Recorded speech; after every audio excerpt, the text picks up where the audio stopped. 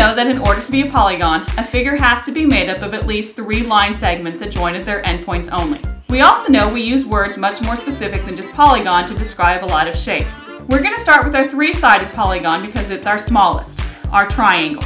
The equilateral triangle would be considered our regular triangle because it has all equal sides and all equal angles. All other triangles would be classified as irregular because they have different side lengths, different angle measures, or both. When we increase to a four-sided figure, we've created quadrilaterals. The square is our regular quadrilateral because of its equal sides and equal angles.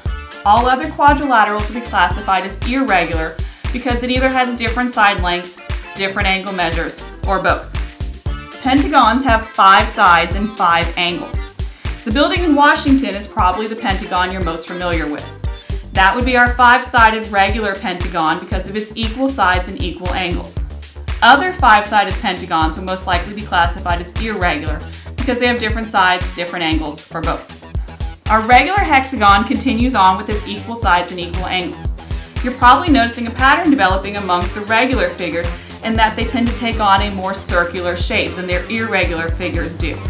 Again, an irregular hexagon though is still going to have six sides. It's just not going to have equal sides or equal angles or both. When we create a seven-sided polygon, we've created a heptagon. Regular heptagons probably aren't as familiar to you as irregular heptagons. A lot of arrows are actually irregular heptagons when you see them just outlined. Regular octagons are a shape that we're all familiar with because that's what's used for a stop sign. But again, any eight-sided figure is going to be considered an octagon most likely irregular.